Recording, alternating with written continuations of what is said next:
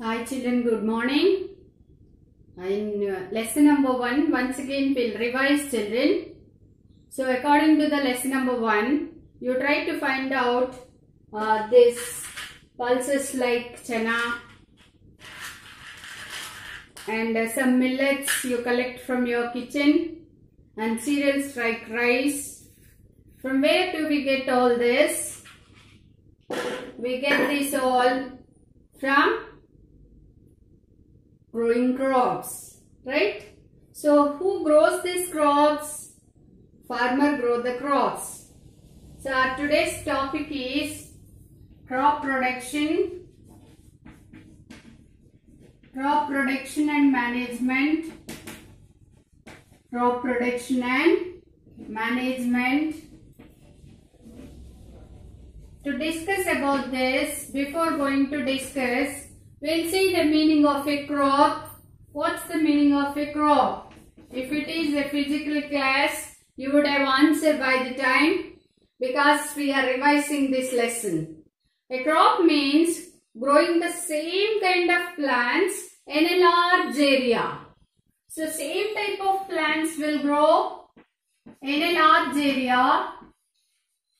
That's known as a crop. Then Suppose when you are growing or when you are taking care of any plant in your flower pot, how will you take care of that? You will water to that plant regularly. You will make it the availability of sunlight and n, n number of activities are in different ways you will take care of your plant, right? Same way, the farmers need to do different activities before growing a crop and tell me, do we get these pulses, the cereals and the millets? Do we get in the same season all these different varieties? We can't. It depends on the temperature, it depends on the availability of uh, uh, rain and the weather conditions. There are different seasons to grow them. So now we'll see what are the seasons suitable for growing different crops? Mainly in India, we'll follow two types of seasons. Based on that two types, we are growing the crops. So based on the seasons, the crops are divided into two types. One is Kharif crops.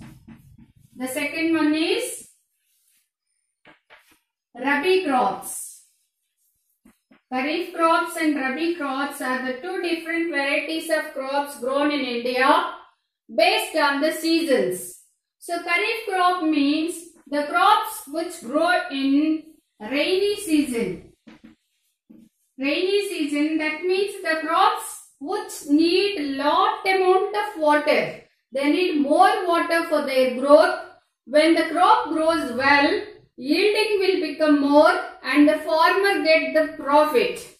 So he should see the crops which are suitable in the rainy season. The crops which need more amount of water for their growth. Right? So it can they can also known as monsoon crops because we are growing in the month of monsoon. That means these kharif crops sown in the month of June and harvesting. Sowing is done in the month of June and harvesting can be done. We can harvest this crop in the month of October. So sowing is in the month of June, harvesting in the month of October. We'll give examples for millets like jowar and cereals like rice maize.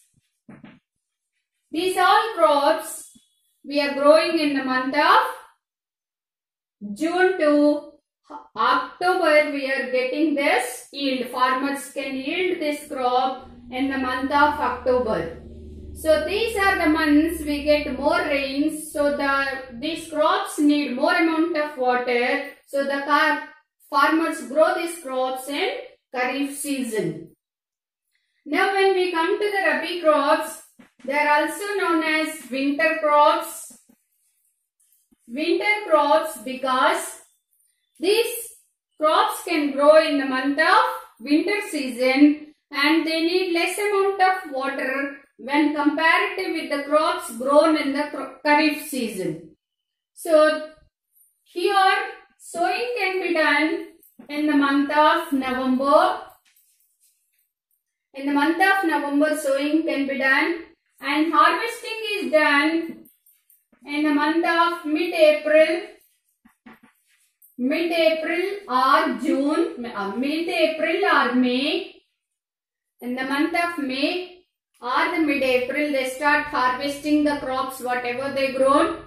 Example like our wheat, our peas. So these crops are also known as winter crops.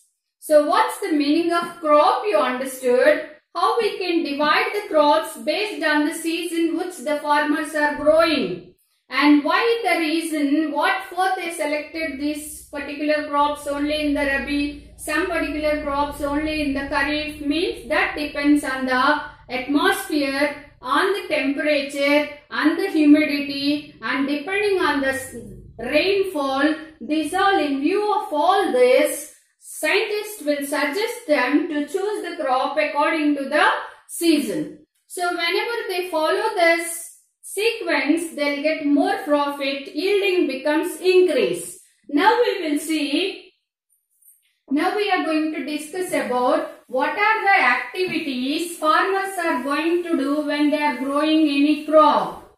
Now we will see the activities, what activities farmers will do just now I said an example to you. When you are taking a flower, a plant in the flower pot, you are doing so many activities. In the same way, when farmers are growing crops in, an, in a field, they too will take a number of activities they too will do. So those activities are known as agricultural practices. Those activities are known as agricultural practices. So, in these agricultural practices, there are a number of steps which farmers are following. Their hard work is hidden to bring out a small rice into our plate. So you should not waste the food while eating. You should remember the farmer's hard work. So now we'll see the steps involved in agricultural practice. Among that, there are a number of steps like preparation of soil and sowing the seeds and then manuring and then irrigation, harvesting, storing. Like this, there are a number of steps. Now, today we are going to learn about the preparation of soil. The first step in agricultural practice is preparation of soil farmers will do will prepare the land before starting the cropping. Sowing the seeds, they'll prepare the field. So in preparing, they'll follow some steps. The first one is plowing. First one is plowing. And the second one is leveling. Leveling. And the third one is manuring. So to prepare the soil, to make it ready for growing any crop, farmers are following three steps mainly. First one is plowing, leveling and manuring. Now we'll see the first step. What's the meaning of plowing?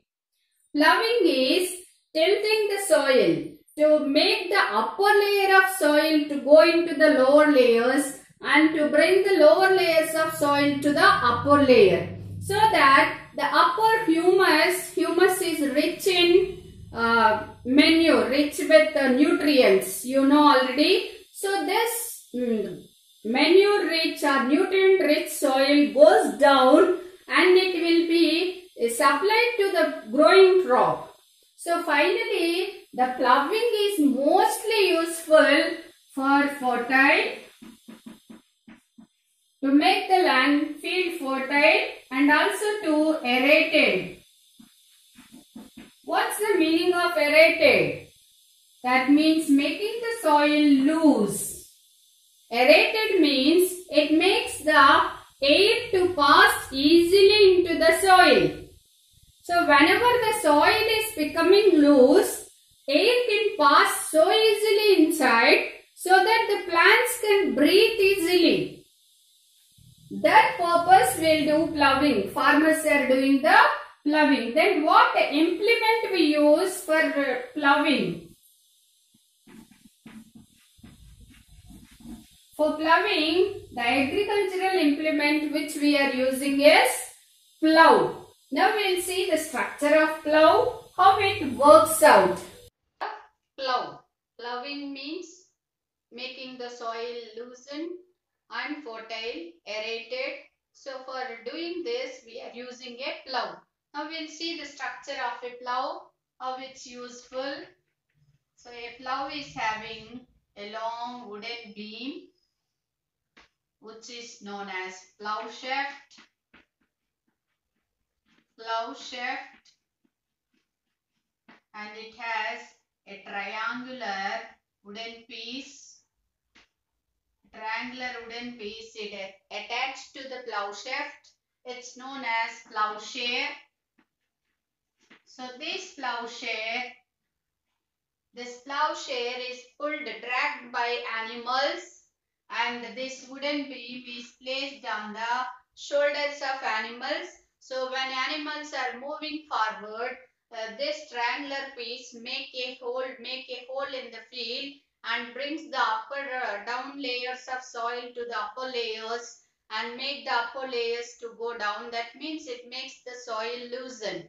So this is the uh, implement we are using to plow the field. Now we'll see what are the advantages of ploughing? We are, now we will see the advantages of ploughing. Before ploughing, the field should be watered. If it is watered, then ploughing will be easy. So now what for the farmers should go for ploughing first? What are the advantages of ploughing? So when the farmers are ploughing the field, the field becomes, the soil becomes loosened and uh, the plant's roots will go deep into the soil so that they can breathe easily. So the first advantage is to make the soil loose and the second one is the plants can breathe easily. Plants can breathe easily by ploughing. And the third one, water holding capacity of that soil increases. When you pour water in any soil, you did an experiment in class 5. The water holding capacity you had seen, percolation rate you found out. When you pour the water, some soils will absorb the water. Some soils will, will not hold the water at all like sand. So by ploughing, that capacity will increase water holding capacity can increase. Water holding capacity increases and then manure get mixed properly. Whatever the manure, what's the meaning of manure and types of manure we are going to discuss. So that manure, whatever the farmer is supplying, that can mix very well in the soil. Okay, and it also helps for the growth of microbes. It helps for the growth of microbes and earthworms. Earthworms are the farmer friends. You learned in lower classes that they make the soil fertile by taking, excreting the soil, by eating up the soil and they excrete the soil. Some nutrients get mixed up in the soil and they are making the soil fertile you learned. So some microbes which are helpful microbes will be in the soil. Those get uh, uh, developed or improved. They comes into the soil by becoming soil loosened. This can be added. These microbes and earthworms can be added. So this is all about plough. And we use another implement also farmers are using for ploughing that is hoe Especially this hoe can also be used for uh, removing the weeds. What are weeds means?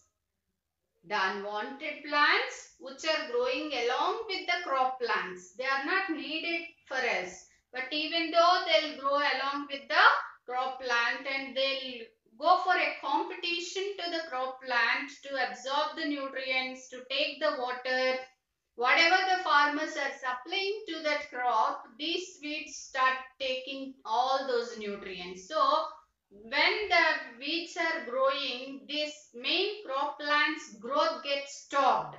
So, compulsory the weeds should remove. So, in removing the weeds, mainly hoe is used and even to loosen the soil also we are using the hoe. Once if we see the structure of a hoe, a wooden, a wooden beam will be and from the beam a plank, an iron plank is there.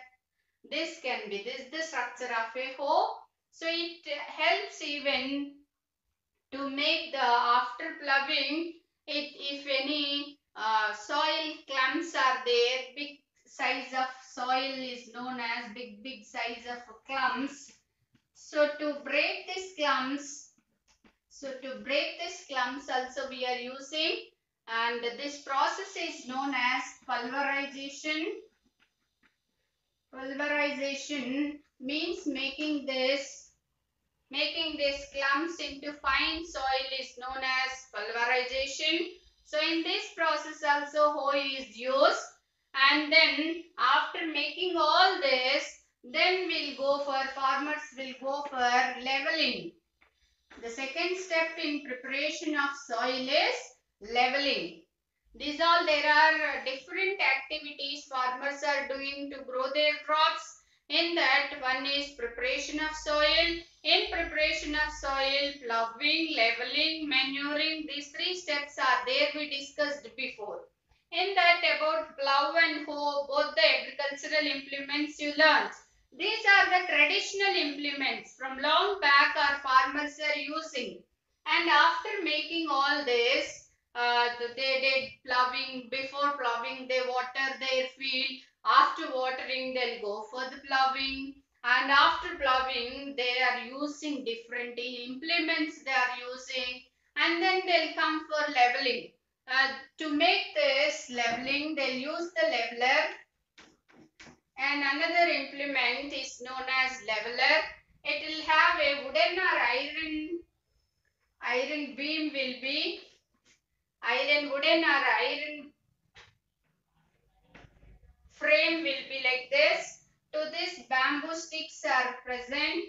Here one thread will be. By pulling this thread, this makes the soil into even. The clumps and all got uh, um, made into fine soil by pulverization. After pulverization, they'll use the leveler to make the whole field into an equal level. When it becomes equal level, then it will be easy while irrigation time. Once the farmer gives water, it can automatically uh, move spreads to the whole field when it is leveled. So for that purpose, farmers are using leveler. So in ploughing, how many implements we had seen just now? One is plough. Once again, we'll see the structure of a plough. It has a wooden beam known as plough shaft and has a triangular plate known as plowshare and it can be dragged by animals by keeping a beam on their shoulders. When it drags front and it makes a hole in the soil and plow the soil. And then we are also using hoe for loosening the soil. And if any clumps are there, they should be changed into like fine soil by pulverization method. After doing this, uh, we'll go for leveling. For leveling the field, we are using a leveler. Leveler have a wooden or iron plank and then it has bamboo sticks like this and a rope. When the farmer is pulling that rope, uh, the field gets level. When it is leveled, irrigation time or watering will be very easy for the farmer.